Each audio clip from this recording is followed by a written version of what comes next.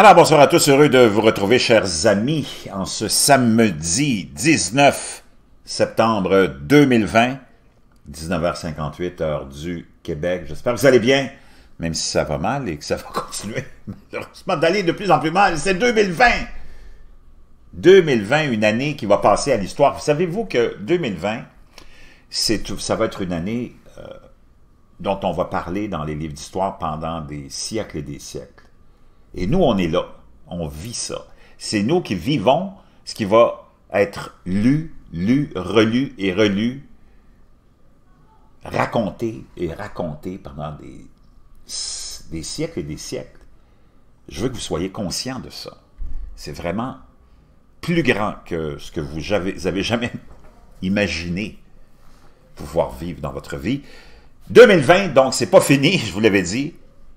Ça fait on est juste rendu au 19 septembre 2020, et non seulement 2020 n'est pas fini, mais la suite va continuer. C'est un peu comme quand Jésus euh, est né, hein? c'était un événement majeur, on n'était pas conscient vraiment de ce que c'était, et ça a duré 33 euh, ans, hein, cette époque-là, qui a marqué, et dont on parle encore.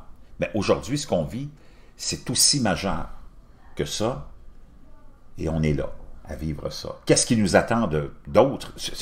Chers amis, tout est possible. Tout est possible. Un séisme de magnitude 4.5 secoue, imaginez-vous le sud de la Californie, mais aucun dommage majeur n'a été signalé. On voit ici l'épicentre, un séisme de magnitude 4.5 a été signalé vendredi 23h38 à Rosemead, en Californie, selon le US Geological Survey.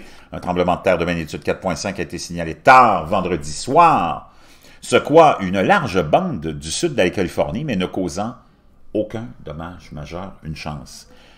Il n'y a eu aucun rapport immédiat de dégâts ou de blessures graves, mais le séisme de 23h38 a été ressenti dans toute la région jusqu'à San Diego, selon le US Geological Survey, qui a révisé son ampleur à la baisse. Après les premiers rapports, il a été suivi de quelques répliques plus petites.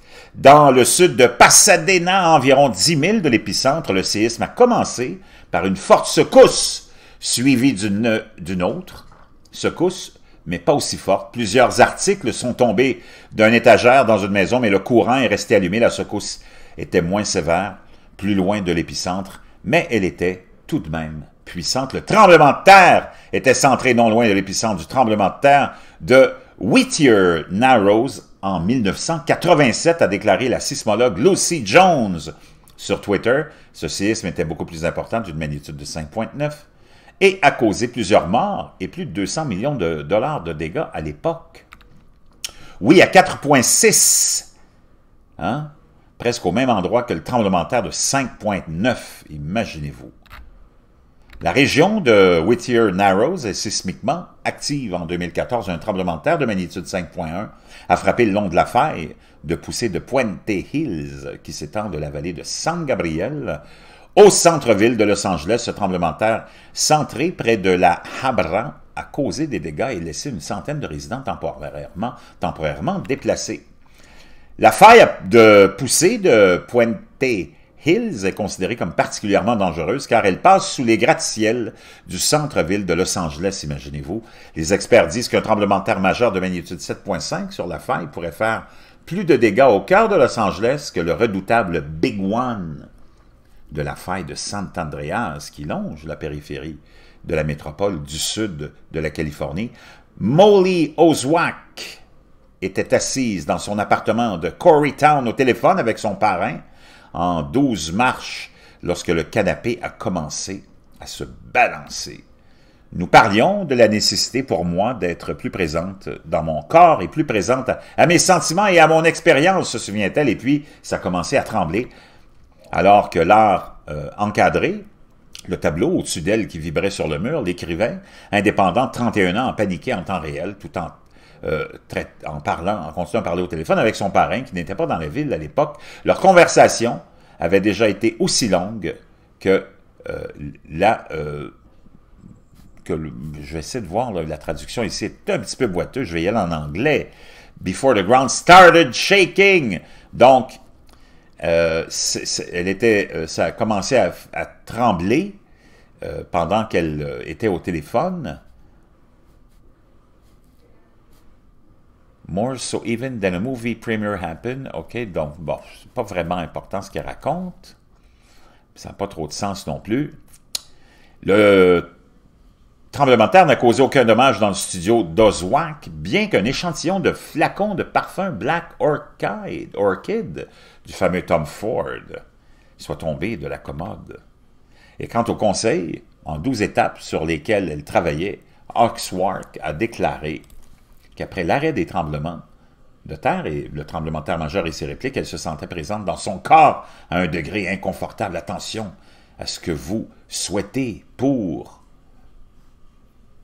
Trois petits points. Le tremblement de terre s'est produit à moins d'un mille de South San Gabriel, à moins d'un mille de Montebello, à moins d'un mille de South El Monte et à un mille de San Gabriel. Au cours des dix derniers jours, il y a eu un tremblement de terre de magnitude 3 ou plus centré à proximité.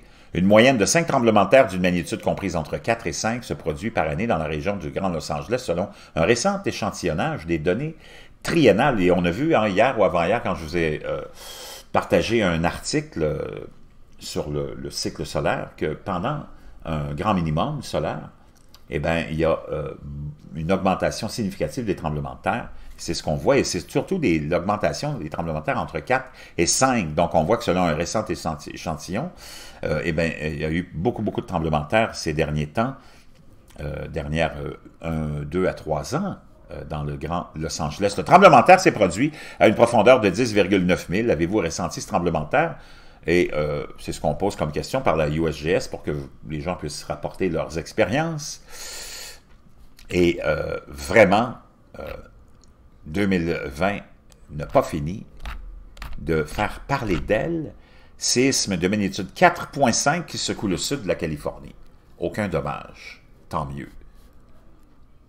Et je vous reviens avec plein d'autres nouvelles. Restez là.